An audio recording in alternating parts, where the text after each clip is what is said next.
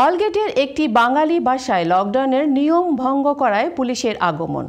দশ হাজার পাউন্ড জরিমানা এবং স্বামীর হাতে স্ত্রী খুনের একটি মিথ্যা গুজব ছড়িয়ে পড়ে সামাজিক যোগাযোগ মাধ্যমে। এ বিষয়ে সতর্ক থাকার আহ্বান জানালেন স্থানীয় বাসিন্দা এবং সাংবাদিক। বিস্তারিত আমাদের চিফ রিপোর্টার চৌধুরী মুরাদের প্রতিবেদনে।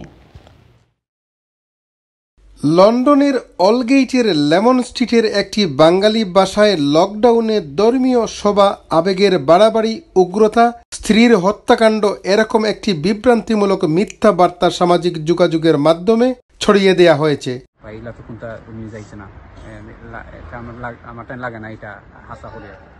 আমি এই এরিয়ার থাকি সবের লগে একটা কমিউনিকেশন আছে।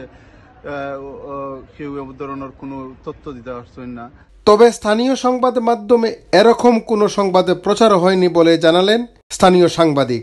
এরকম কোনো তথ্য আমি পাই নাই কিন্তু এমনিতে এই বাংলায় লেখা এই টেক্সটটা এই ইনফরমেশনটা কতজনের কাছ থেকে আমার কাছে এসেছে এবং অনেকেই বলছেন একটু চেক করে দেখেন। লেমন স্ট্রিটের যে কথাটা এটা নিয়ে আমি বেশ কয়েকদিন বেশ অনেকের সাথে যোগাযোগ করেছি কিন্তু আমার আমরা গ্রুপেও পেয়েছি এটা।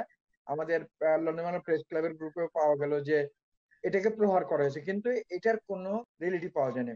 এরকম ভিত্তিহীন প্রচারণা থেকে বিরত থাকার আহ্বান London Bangla Press Club secretary Mohammad জুবাইরের। যদি গল্পও হয় আর এর মাধ্যমে তিনি যদি এডুকেট করতে চান এটা মিথ্যা দিয়ে এভাবে এডুকেট করার কতটুকু দরকার আছে আমি জানি না। অ্যাওয়ারনেসের তো নানা ধরনের আহ, পদ্ধতি আছে নানাভাবে অ্যাওয়ার করা যায় মানুষের। এরকম প্রচারণা ষড়যন্ত্রমূলক হতে পারে বলে মনে করেন সাংবাদিক মোস্তাক আলী বাবুল। কারণ তাবলিক জামাত একটা সেন্সিটিভ মুসলমানের ইসলাম ফোবিয়া এবং এন্টি ইসলাম ফোবিয়ার যে একটা অ্যাক্টিভিটিস এটা হতে পারে।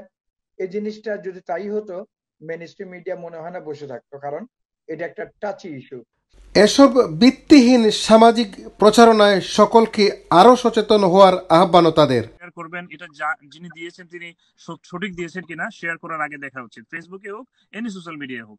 এগুলো আমরা মনে হয় বিভ্রান্তির মধ্যে ফালানির লাগে একটা গ্রুপে ইতা করে। তো আমি অনুরোধ করব এগুলা যাতে কেউ তথ্য ভিত্তিক ছাড়া মানে কেউ কেউ হোয়াটসঅ্যাপ করতে না। Chowdhury Morad IN TV news, London.